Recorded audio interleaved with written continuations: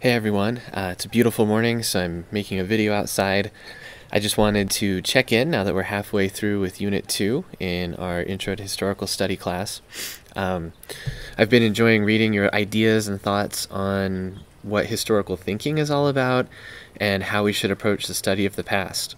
As we've underscored on Twitter and in some of our other communications, um, history is not static it's much more than a list of names and dates. Um, and some of the reasons that it is so contested have to do with the way we know what we know about the past. The idea that historical evidence itself is imperfect, it's messy, it's incomplete, um, it's often biased. Um, sometimes we discount certain aspects of historical evidence, as was the case um, and still is the case in some quarters with uh, oral histories or oral traditions. Um, it's taken academic historians quite a while to overcome their sort of Western tradition of seeing the written word as somehow more valuable. Instead of seeing uh, both types of historical evidence as things that we need to think through critically in order to see where the limitations, where the biases are, um, and where the strengths of those accounts can be. Right? Because written histories can also be untruthful. Um, and it's up to the historian to read um, read carefully, read broadly, and um, in such a way that we'll be able to put together the best picture possible or the fullest picture possible of the past.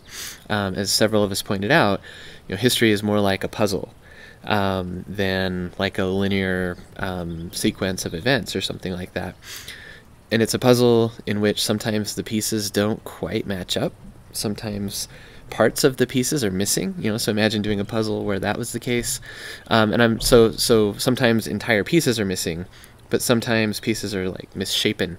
Um, and so historians again have to figure out what do we do with that. Um, how do we deal with contradictory evidence, um, contradictory stories? Because ultimately, history is the study of how human narratives have been created. Um, power has a lot to do with that. Um, culture, um, race and ethnicity, um, gender, all of these different things are important to thinking about how and why stories have been told in certain ways um, and what that means for us now. So, uh, thanks for your hard work thus far. If you haven't yet posted to Twitter for the historical thinking um, uh, activities in Unit 2, you can still do that for credit. If you're not sure how to do that or what to do, uh, don't hesitate to reach out. I'm happy to help. Um, I do have uh, student hours tomorrow morning um, from 9 to 11, so you can uh, check in with me via Zoom if you need. Also, just looking ahead, um, I'm going to post uh, below this video uh, my video of an example of of the assignment that's due uh, the end of this week for Unit 2, the last part of Unit 2. Um, you're to identify a historical item um, and write about it. There's some questions in the unit narrative in Medium uh, to get you thinking about um, you know historical objects as uh, or things that we interact with on a regular basis, how we can start thinking critically about the ways that history uh, manifests itself in our day to day lives. Um, and as I've pointed out a few different places, Medium allows you to not only write write out words, but also add images, also add videos. Um, and so that's an example of how you might talk about your historical item on a video or through a video if you would like to do that. Um, let me know what questions you have, how I can help. Also, looking ahead to Unit 3, so that'll be next week starting on September 20th. Um, we will be focusing on close reading, and so we're going to be using hypothesis.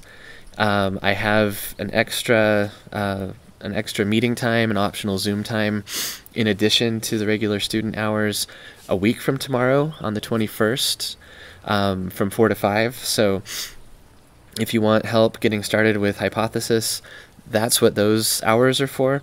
Um, and I'm happy to get on Zoom or be on Zoom and walk you through uh, how to use Hypothesis. It is a pretty cool tool because it allows us to directly annotate readings. So we can talk about uh, why close reading is significant, why it's important for helping us to uh, to apply historical thinking to our study of the past. Um, and we can have those conversations right in the margins of the texts that we're reading. So, um, so I guess all that to say, please look at hypothesis this week, and if so that you can know whether or not it's something that you want to ask some questions about, um, so that you can hit the ground running next week in Unit Three. All right, uh, I'll talk to you soon. Hope you're having a good Monday.